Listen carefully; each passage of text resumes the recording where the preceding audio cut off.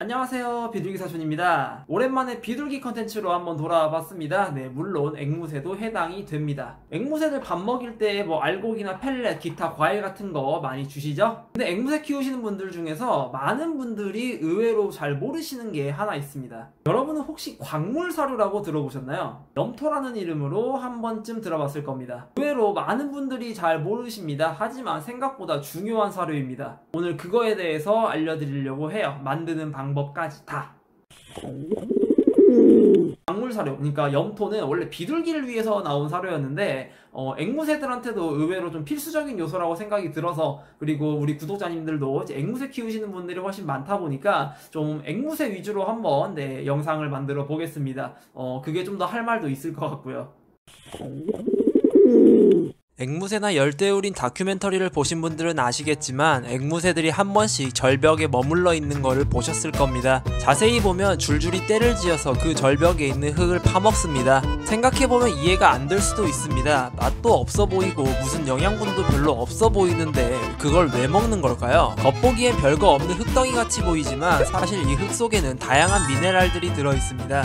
이거 말고 흙을 먹음으로써 곡식이나 과일, 씨앗 등에는 없는 칼슘과 미네랄 등을 섭취하고 그 섭취한 미네랄들이 앵무새가 섭취한 씨앗에 들어있는 독성 물질을 중화해주는 역할을 해주며 흙 속에 있는 유익한 미생물 등도 같이 먹게 되므로 면역력 상승이나 소화기의 건강에도 좋은 영향이 끼칠 수 있습니다. 때문에 앵무새가 흙을 먹는 건 의외로 아주 중요합니다. 아무튼 이렇게 야생에서의 앵무새는 자기 스스로 건강관리를 할 줄 압니다. 하지만 사람이 키우는 애완용 앵무새라면 얘기가 달라집니다. 모든 영양관리를 사람이 통제하기 때문에 앵무새의 주인이 이런 사실을 모른다면 그 대가는 고스란히 앵무새의 몫이 될 겁니다. 사육자가 직접 야생 앵무새의 원산지에 가서 흙을 퍼오는 것도 불가능에 가까울 것이며 퍼온다 할지라도 앵무새가 먹어주지 않는다면 고생한 게 물거품이 될 것입니다. 물론 그렇게까지 할 필요도 없습니다. 우리가 만들어서 주면 되니까요. 염토라고도 불리는 광물 사료 어떤 재료가 들어가는지 하나하나 알려드리겠습니다.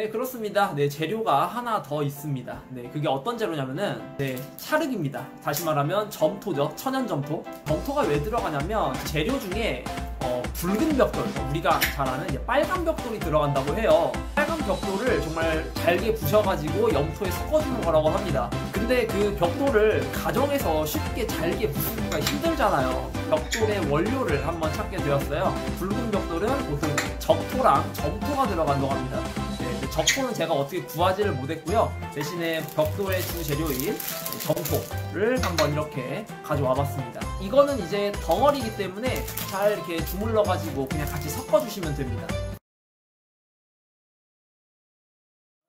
제가 당부드리고 싶은 말씀이 있습니다. 점토라고 해서 다 같은 점토가 아니에요. 고무차흙을 섞는다든가 또는 지점토를 섞어서는 안 됩니다. 지점토 같은 경우에는 그게 원료가 종이에요. 종이 지자를 써서 지점토거든요. 거기다가 찰기를 위해서 화학약품이나 접착제가 들어가는 게 지정보기 때문에 그거는 오히려 먹으면 큰일 납니다. 네, 오늘은 여기까지 하도록 하겠습니다. 모두들 즐거운 애주생활 되세요. 안녕!